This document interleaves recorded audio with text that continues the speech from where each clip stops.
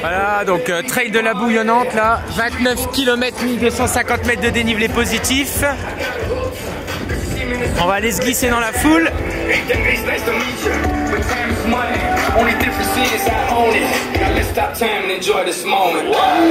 Allez hop, bon run